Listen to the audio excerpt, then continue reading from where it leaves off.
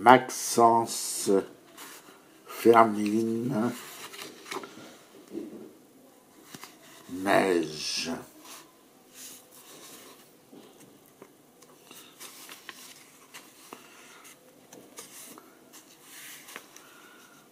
Yuko Akita avait deux passions.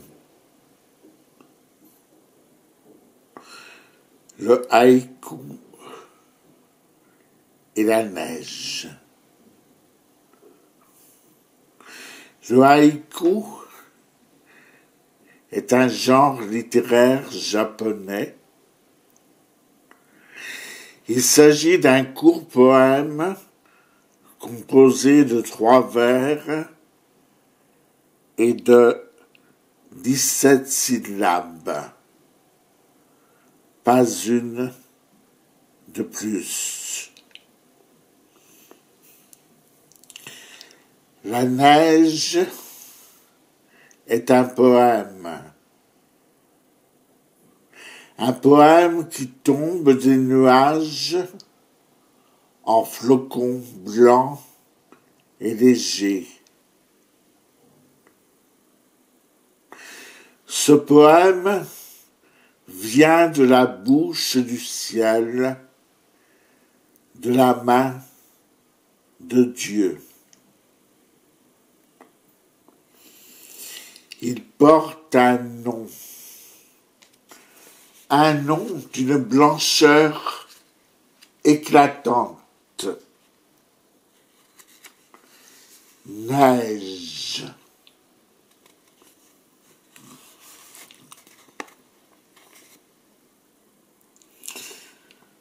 Vent hivernal,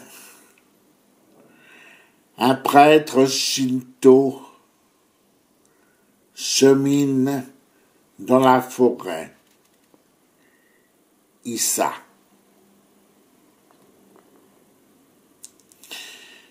Le père de Yuko était prêtre shintoïste. Il vivait dans l'île de Kaido, au nord du Japon, là où l'hiver est le plus durable et le plus rigoureux. Il apprit à son fils la puissance des forces cosmiques, l'importance de la foi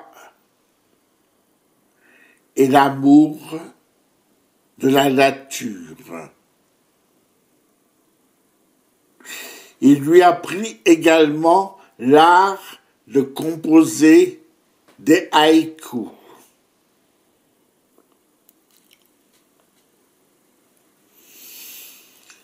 Un jour d'avril 1884, Yoko eut 17 ans. Au sud, à Kyushu, les premiers cerisiers commençaient à fleurir. Au nord du Japon, la mer était encore gelée.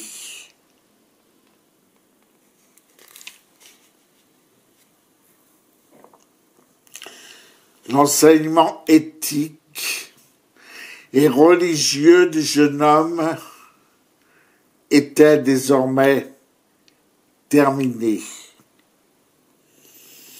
Il était temps pour lui de choisir un métier. Depuis des générations, les membres de la famille Akita se partageaient entre la religion et l'armée. Mais Yuko ne désirait pas plus devenir prêtre que guerrier.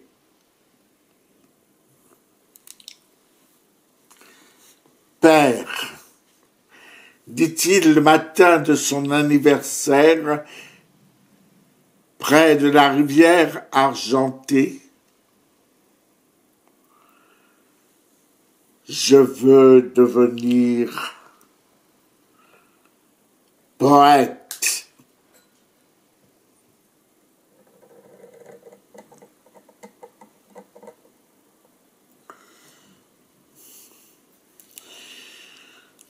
prêtre fronça les sourcils d'une manière quasiment imperceptible, mais qui trahissait toutefois une profonde déception. Le soleil se reflétait dans la moire de l'eau Un poisson lune passa entre les bouleaux, puis disparut sous le pont de bois.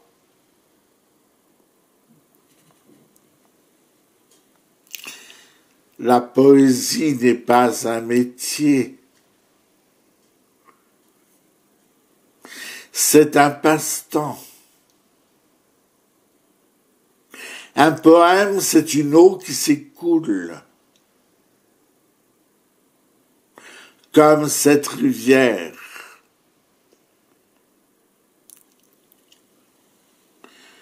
Yuko plongea son regard dans l'eau silencieuse et fuyante.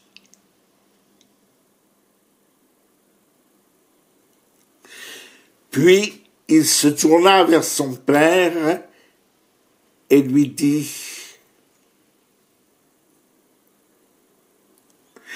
Ce que je veux faire, je veux apprendre à regarder passer le temps.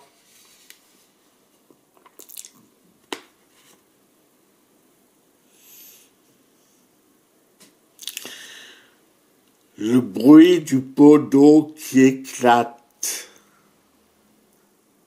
L'eau a gelé cette nuit, me réveille, macho.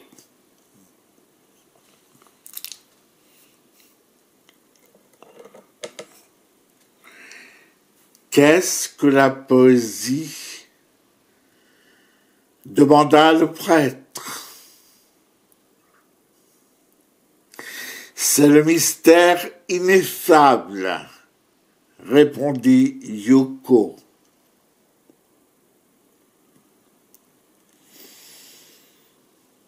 Un matin, le bruit du pot d'eau qui éclate dans la fait germer une goutte de poésie, réveille l'âme et lui confère sa beauté. C'est le moment de dire l'indicible. C'est le moment de voyager sans bouger. C'est le moment de devenir poète.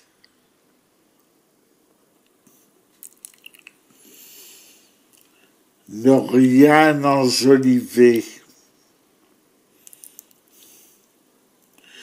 ne pas parler, regarder écrire peu de mots. 17 syllabes. Un haïku.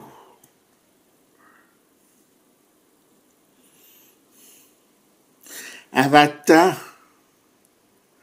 on se réveille. Il est temps de se retirer du monde pour mieux s'en étonner. Un matin, on prend le temps de se regarder vivre.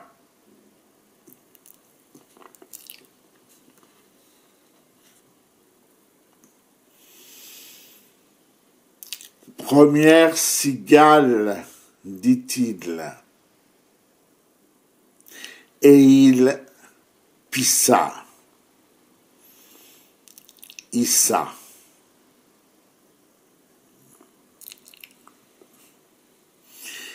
Les mois passèrent. Durant l'été 1884, Yuko écrivit 77 haïkus, tous plus beaux les uns que les autres. Un matin de soleil sale, un papillon se posa sur son épaule et il laissa une trace étoilée et fragile que lava la pluie de juin. Parfois, à l'heure de la sieste, il allait écouter le chant des cueilleuses de thé.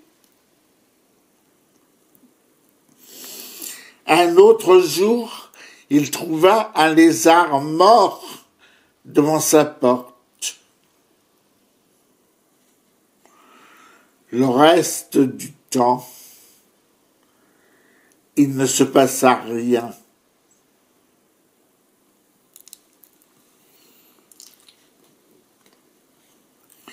Lorsque les premiers jours d'hiver revinrent, il fut à nouveau question de l'avenir de Yuko.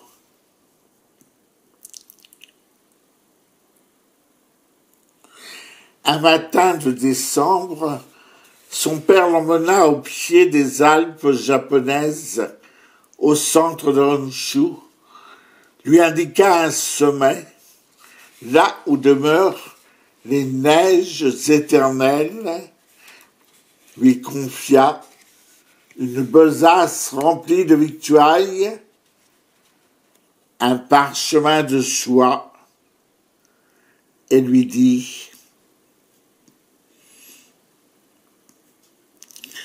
Ne reviens que lorsque tu sauras. Guerrier ou, ou prêtre. À toi de choisir.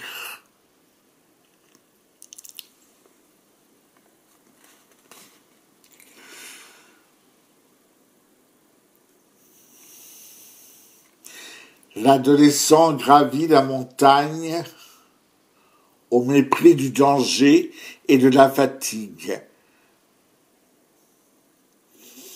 Au sommet, il trouva un abri sous un rocher. Il s'y assit face à la splendeur du monde. Il resta ainsi sept jours aux portes du ciel à se nourrir de la beauté.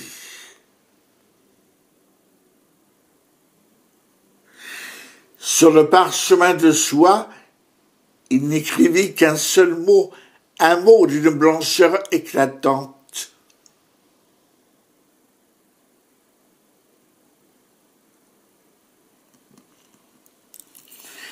Lorsqu'il revint auprès de son père, ce dernier lui demanda Yuko, as-tu trouvé ta voix?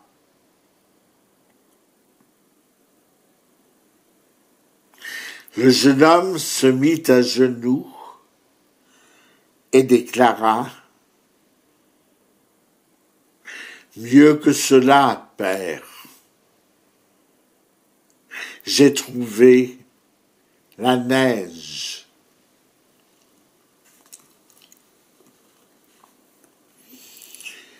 Sur cette lande où il neige, si je meurs aussi, je deviendrai un Bouddha de neige. Je suis. La neige est un poème, un poème d'une blancheur éclatante. Elle recouvre en janvier la moitié nord du Japon, là où vivait Yuko. La neige était la poésie de l'hiver.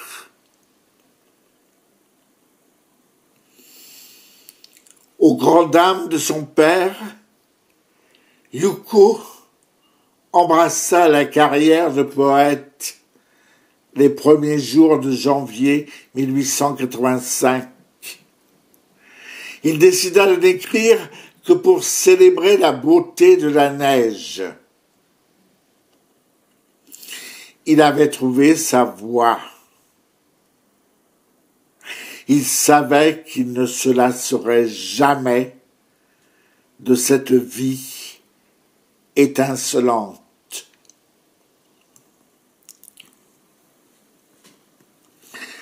Chaque jour de neige,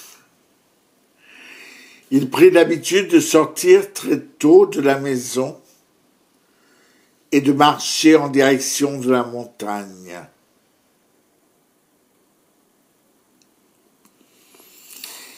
Il se rendait toujours au même endroit pour composer ses poèmes.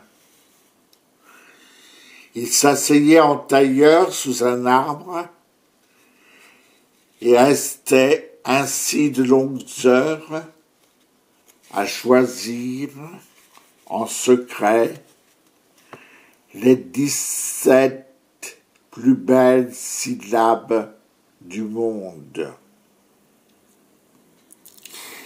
Puis, lorsqu'il possédait enfin son poème, il le couchait sur un papier de soie.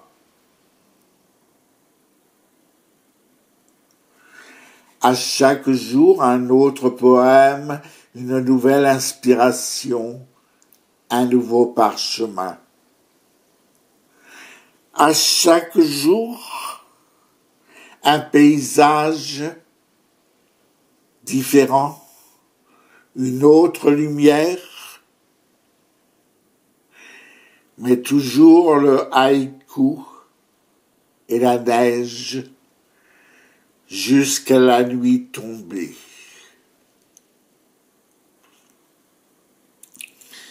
Il rentrait toujours pour la cérémonie du thé.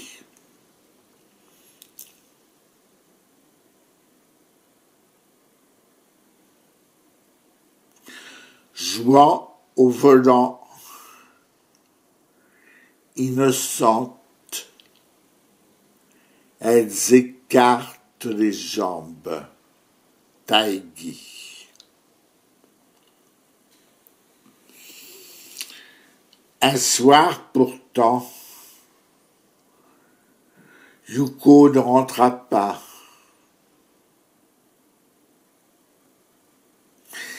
C'était une nuit de pleine lune. On y voyait comme en plein jour une armée de nuages aussi cotonneux que des flocons va masquer le ciel. Ils étaient des milliers de guerriers blancs à prendre possession du ciel. C'était l'armée de la neige.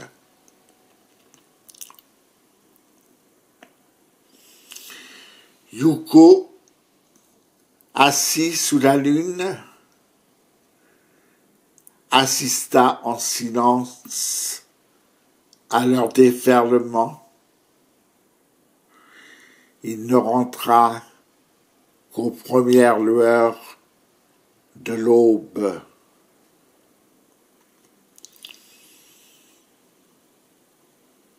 En chemin, dans la fraîcheur pâle du soleil, il croisa une jeune femme qui puisait de l'eau à la fontaine.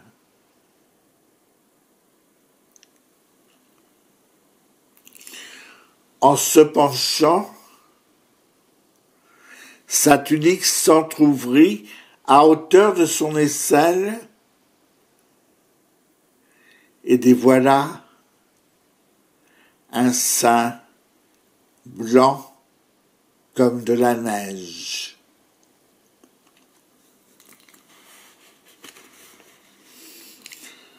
Dans sa chambre, un peu plus tard, Yuko toucha son front.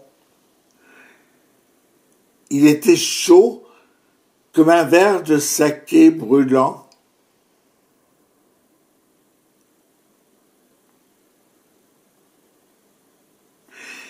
Il s'endormit. À la main, son sexe dressé comme un piment rouge.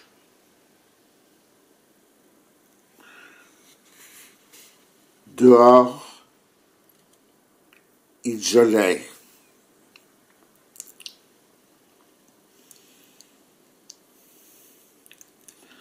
Froid perçant. Je baise une fleur de prunier en rêve. Soseki.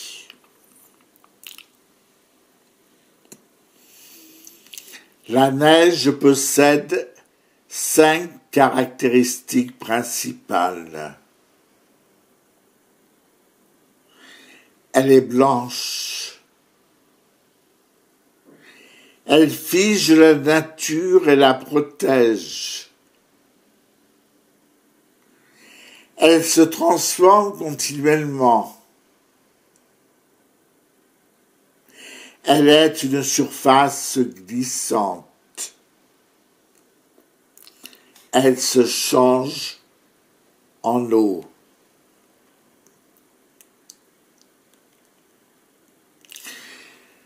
Lorsqu'il en parla à son père, ce dernier n'y vit que les aspects négatifs, comme si la passion si étrange de son fils pour la neige lui avait rendu la saison mal encore plus terrifiante. Elle est blanche. C'est donc qu'elle est invisible et ne mérite pas d'être. Elle fige la nature et la protège. L'orgueilleuse, qui est-elle pour prétendre statufier la nature? Elle se transforme continuellement. C'est donc qu'elle n'est pas fiable. Elle a une surface glissante qui donc peut prendre plaisir à glisser sur la neige. Elle se change en eau c'est pour mieux nous inonder à la période de la fonte.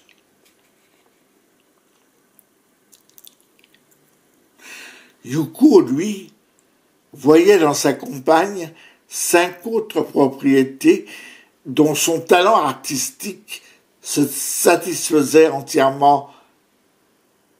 Elle est blanche. C'est donc une poésie une poésie d'une grande pureté. Elle fige la nature et la protège. C'est donc une peinture, la plus délicate peinture de l'hiver.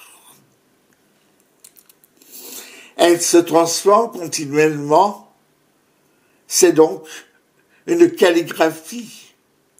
Il y a dix mille manières d'écrire le mot neige.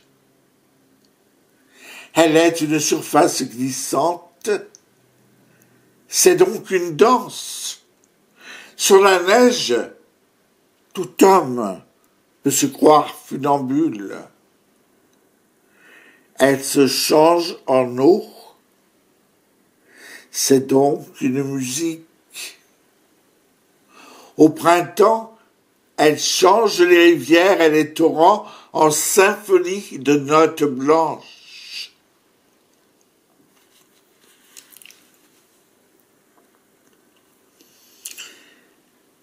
Elle est tout cela pour toi demanda le prêtre. Elle représente bien plus encore.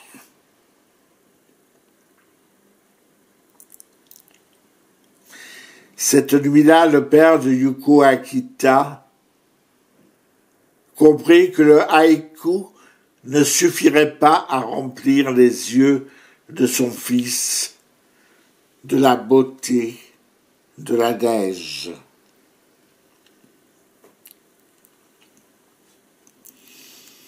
Yuko vénérait l'art du haïku, la neige et le chiffre 7. Le chiffre 7 est un chiffre magique. Il tient à la fois de l'équilibre du carré et du vertige du triangle. Yuko avait 17 ans lorsqu'il avait embrassé la carrière de poète. Il écrivait des poèmes de 17 syllabes. Il possédait sept chats.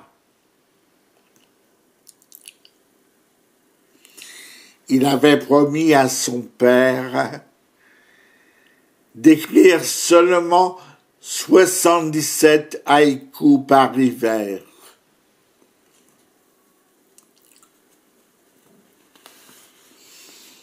Le reste de l'année,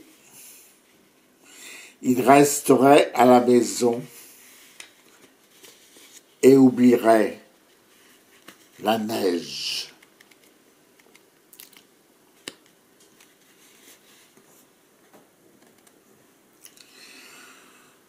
Un jour de printemps, au renouveau du soleil, un poète renommé à la cour Meiji eut vent des travaux de Yuko. Il se rendit dans son village, trouva la maison du père d'Akira et le fit demander. Le prêtre accouru du temple voisin accueillit avec majesté le haut dignitaire de l'empereur, lui offrit une tasse de thé et dit Mon fils rentrera ce soir de la montagne pour la dernière fois de l'année. Aujourd'hui est le jour de son 77e haïku. Mais si vous le désirez, je peux vous mener à son atelier de travail. C'est là qu'il renferme tous ses poèmes, tous écrits sur des parchemins de soie.